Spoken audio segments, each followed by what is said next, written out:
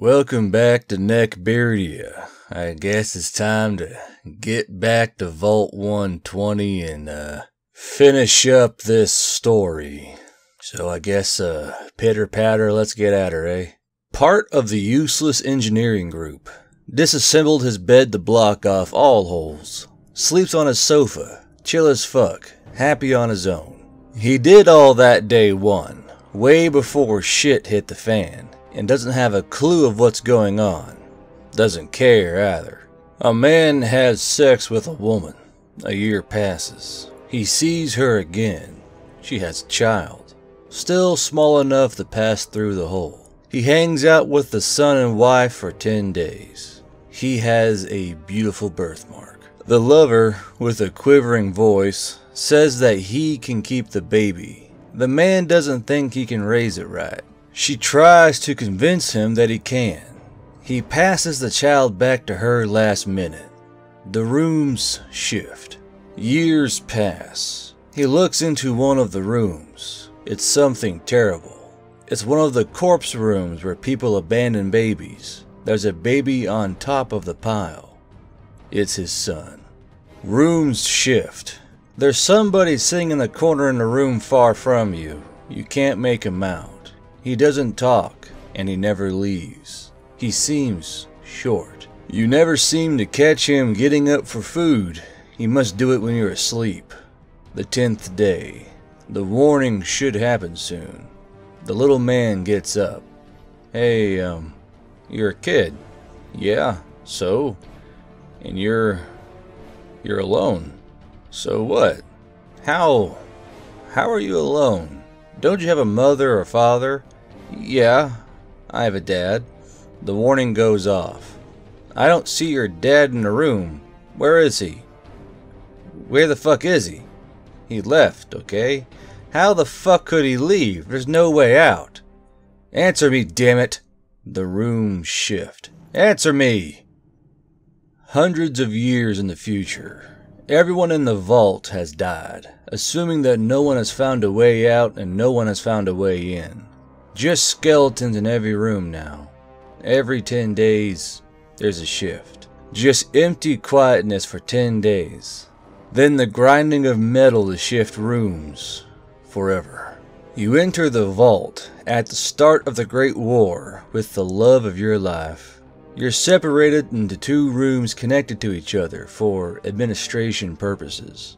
Suddenly, the entrance to the rooms close. You scream and shout trying to open the door. It doesn't budge. You realize you and your lover's rooms are connected by a small hole. You console her saying you'll find a way out. Over the next two days you realize it's hopeless to escape. You spend the rest of the nights holding your lover's hand and talking to each other. On the tenth day, the siren screams and you panic. The rooms seem to be moving. You grab your lover's hand and shout to her, I love you, I love you, don't go. She's crying. Through the tears as her hands are separated, she yells, Anon, I'm pregnant. And then silence as your rooms are separated. Then shit comes in from the new holes simultaneously. Woman with a slender four year old son. Pregnant again after last shift. She can't possibly manage raising another child in her cell. As her child sleeps, she gently wraps him in a blanket. Three of the cells are occupied, one by a man murmuring in the corner, one by an old lady, and one by a young man who refused to help her raise the child. The last room contained the decaying corpse and decrepit jumpsuit of someone who looked to have lost an arm in a shift and bled out. She slips her oldest child into the corpse room as a siren sounds. He wakes up from falling to the floor, crying and panicking. He untangles the blanket and rushes to the hole, screaming, Mommy, Mommy, please. But his mother just sits on the bed in her own cell looking straight ahead. Mommy, please help me. The siren stops. The rooms shift. Vault 120. One shift, you end up next to a beautiful woman. Over the 10 days, you fall in love and fuck before the next shift. The last thing she says is that she'll always love you and she'll wait for you. Every shift since then, you check the surrounding cells for her. Years later, you find her. Somehow, she got some guy in her cell with her. They've been living together for years and have several children. She doesn't remember you. In an insane, heartbroken rage, you squeeze through the hole and murder all of them. Hey, I'm Mike. Who are you? Did you hear about the uh, the shit wars? I've never seen it, but heard that people were shitting in each other's rooms. That's insane. Um, do you speak? Ten days pass. The warning goes off. The silent man shoves his head into the wall. The runes shift. Man's head comes off. Be a girl. Late generation. The shifting rooms are all that you have known.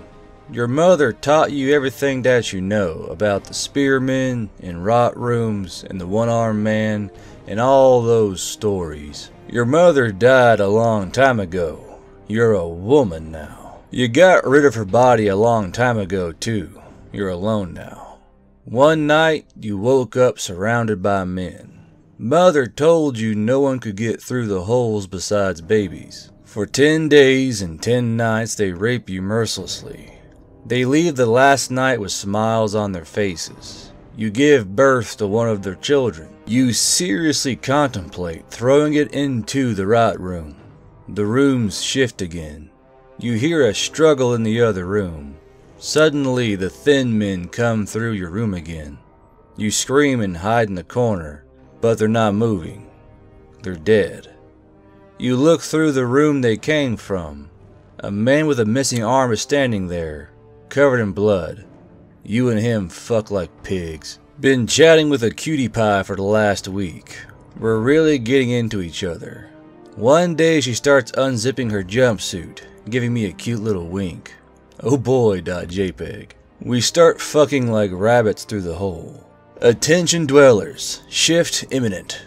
Oh shit, no. Pull out of the rabbit hole at the last second. We call for each other as the cubes rise up. I was about to come. New neighbor plugs in his hairy ass to say hello. That feeling too horny to care and finishes and finishing in his ass. Okay. Guy who has miraculously not been subjected to the shit wars going on between the cells. Still hopeful and friendly. Looking forward to meet four new people so we might exchange some books. Siren ends. Room shift. Four asses simultaneously press against the holes in a cell. Why, God? Why? It's night in the vault. Of course, you know that there is no such thing. Not here. It's simply the name you throw out when the lights dim just a fraction. You've been with your neighbors for 10 days now. The sounds of them attempting to converse with you have long since stopped, given way to silence. You peer around, Looking at the makeshift barricades you were able to create from spare clothes, empty food cans, and other assorted crap that enters your room. Suddenly, you hear it. The rumble, deep and loud, juddering your small domicile, threatening to destroy your last-ditch chances to remain sane. As suddenly as it starts, it stops. That's when you hear it. It's not the polite knock against steel the hasty scratch of nails, nor the muted sounds of speech. It's different. It's louder, more powerful. You scramble to identify where it's coming from, to stop it, to bring back the silence, the oh so beautiful silence. You spot one of your barricades, ballooning inwards as something smashes against it. Finally it gives, scattering contents everywhere, forcing you to cover your face lest you be blinded by the flying debris. You keep your eyes shut, not wanting to spot what it is that's coming to end your pitiful life. A sound breaks you, forcing you to look. Through the hole sits an ass, guy in corner, only two neighbors. They become best of friends, a young woman and a man. They become very close. They decide it's better to stay with people you know. They plan out to destroy the mechanisms that make the room shift. They nullify the gears that makes their rooms move. The three of them, together forever. The love triangle is formed, but the man in the corner gets the short stick. Day by day, he is subjected to their noise of lovemaking and flirting. They eventually stop talking to Corner Guy. They mostly speak to their new neighbors since their holes still shift. Out of jealousy and loneliness, beckon the woman to the hole. He kisses her. Out of fear and rejection and crushing loneliness, he grabs her by the neck and forces her to the wall. Other man notices. Yells through the hole. Corner guy threatens to kill woman and beckons the young man to get close. Stab him in the neck. The woman, out of fear, panic bites corner guy. He stabs her while in a panic. He lets go as he hears the last blood gurgles of his two best friends. Only neighbors are dead. Any contact he tries with the other neighbors past his original two best friends are met with the sight of their corpses. Completely alone, he sits in the corner, far away, yearning for human interaction. Unjamming the gears in his room won't work, since his friend's room prevent him from moving.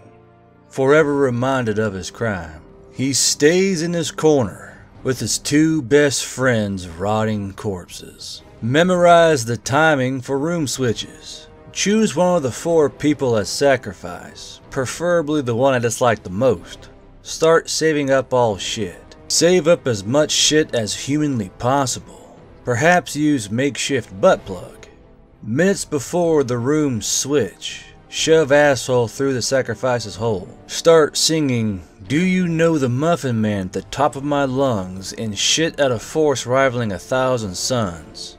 Repeat. My goal would be the shit so hard that I get it from his hole to the other hole right across from it.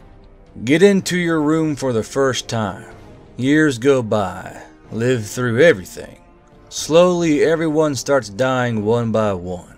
More years pass. Your cell doesn't come into contact with anyone alive for years, just corpses. Finally meet one other person. Seems normal. Tells you he hasn't seen anyone in years. Cells rotate. See no one for seven years. Cells rotate. You see the guy again. He's killed himself. You are all alone. Early years. Haven't seen a woman in a while. Siren goes off. Doors shift. Look around. You see a beautiful woman in one of the rooms. Wait a minute here. Scroll. Nope, I'm not reading this shit. God damn it, 4chan. Put large object in front of holes, larger than the holes themselves. Cover with sheets, towels, blankets. Make a spear out of a mop slash broom and a kitchen knife assuming they are part of the accommodations. Eventually secure whole blocks. Occasionally remove them to trade music holotapes and various other entertainment products. The moment I see an ass, it's getting stabbed. Likewise with skinnies. Die happy. I'd rather live a life of near isolation than one of no privacy and constant shitting. Be surrounded by skinnies. You have to sleep some time anon. Stay awake for nine days. Sirens go. So relieved you go to sleep. As you close your eyes, you see one of them move just before the rooms shift. Day 81. My room is now in a corner. The sudden peace is very different from what I've been used to so far. The left hole, the woman inside looks like she died a while ago. Poor thing. The right one, well, the fucker has been doing non-stop sock puppet show by the hole for nearly a week now. Thinking of killing myself if he doesn't stop it before the next shift. Oh well, at least it isn't another ass. TLDR Vault 120. Vault 120. 1,000 people. 1,000 cells. Head size hole in each four walls. Every 10 days, the cells shift to new locations. One guy steals and eats a baby. Mother tells people about the guy. People shit in his cell. People spread lies about who he is. People start shitting in everyone's cell. One guy loses his hand from fisting a shitter. Shitter shits out his hand in someone else's cell. Shit fisting becomes a tradition of shitting out that hand. The man who loses his hand wraps glass to a stump. Proceeds to stab all asses that shit in his cell. Become the hero Vault 120 needs, but not the one it deserves. People break their bones so they can fit through the holes. They become skinnies. They kill, rape, and convert others to become skinnies. One lady teases men with sex, only to trap their dicks. She then tortures the guy's dick until it's cut off by the shift. The priest speaks to those who have lost their way and inspires them. Spearman teaches people to make spears to defend themselves. Some people cover the holes and live a life of solitude. Corpse rooms are cells where dead bodies, mostly unwanted children, are put. Stories of things that go on in Vault 120 are told. Vault 120 will never be as good reading it unless you were there for its creation. And that's the end of the story of Vault 120. I get kind of annoyed when uh, this is a good idea, right? It's got a good, it's a good twist on the vault, and you got guys who just want to make it too edgy. There's no need for all the edge. There's no need for like that weird bimbo story where I, I'm sure you all read it. I'm sure, I'm sure he's gonna put it up for you guys to read. But like, it's a bimbo he has sex with and cuts her head off. That's that's that's fucking stupid. That would like I don't get why he, they believe that, that even be a thing that would happen. I know it's a shit post probably, but just annoys me and I don't want to bother reading that shit. You know, like the skinnies were a great part of the story. The fucking shit fister, I mean, it's a, it's stupid, it's a shit post, but still like funny in a way. This could have been a lot better if there was less edge to it, you know, less of that 4chan edge. And it's just like a very blunt edge because they just fucking whack that shit right into place. Like there's somehow like I don't know, I don't know, I have no idea. But uh, I don't know. There's been a lot of vaults made over the years. I've made a I've made a vault or two, and they're always fun to think about because you get all these people trapped like rats in a huge simulated underground society, and they can go any way you want them to. They're just like these cool, moldable stories where you can kind of push the limits of societal bounds and see just how far you can compress that nugget till it turns into a diamond. I think my favorite vault is uh I think it's the boomers. I think the boomers make me laugh the most because of how in New Vegas they you help them uh, raise up that fucking the, the uh, super fortress and have it fly around. Always cracked me up. But yeah, if you like this video and others like it, be sure to like and subscribe to Neckbeardia and click the bell icon so you know when the videos are released through the week. This has been Guard Bro, and I'll see you in whatever the hell else Neckbeardia gives me.